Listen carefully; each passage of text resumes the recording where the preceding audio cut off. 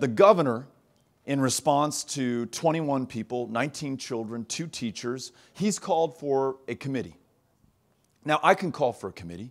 You can call for a committee. We might as well call all of ourselves a committee today. Uniquely, the governor of the state of Texas can call for a special session.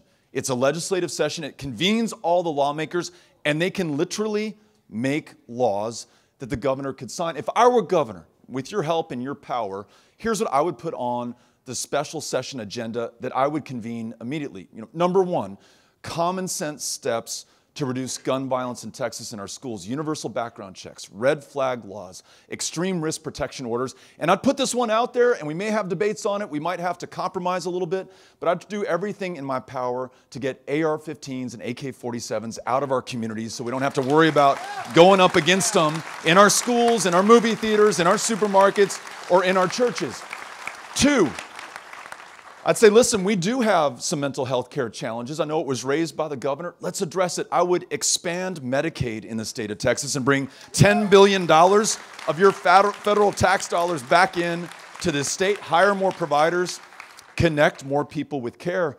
And to the trustees' comments about public education, I put on the agenda we are going to cancel the STAAR test and we are going to replace it with something that educators come up with that does a far better job of providing the diagnostic that we need in our classrooms. I would raise teacher pay at a minimum by $7,500 a year.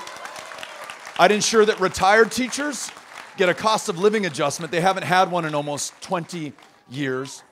And then we're going to invest in things that make sense for all of us. Universal pre K for every single family, regardless of income or zip code.